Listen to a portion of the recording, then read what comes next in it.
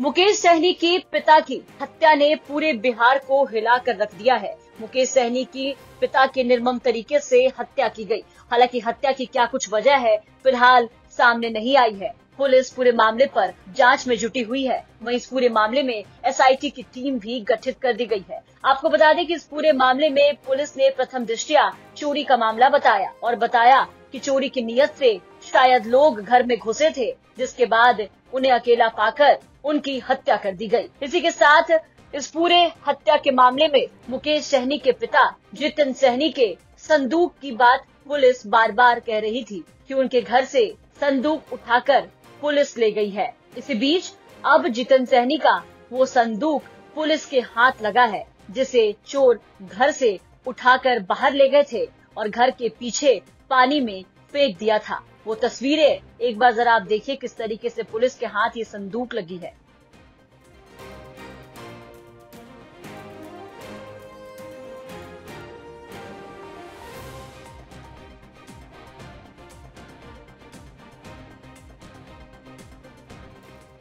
इस पूरे संदूक पर पुलिस और लोगों की नज़र टिकी हुई है कि आखिर इस संदूक में ऐसा क्या था, जिसके कारण जितन सहनी, जो इतने साधारण व्यक्ति थे, इतने साधारण ज़िंदगी जी रहे थे, चोर उनके घर में घुसते हैं और सब कुछ छोड़कर उनकी हत्या के बाद इस संदूक को घर से उठाकर बाहर लेते हैं। फ़िलहाल इस संदूक का खुलना अभी बाकी है। देखना होगा कि संदूक से क्या बड़ा राज निकल करके सामने आता है। ब्यूरो रिपोर्ट बिहार तक।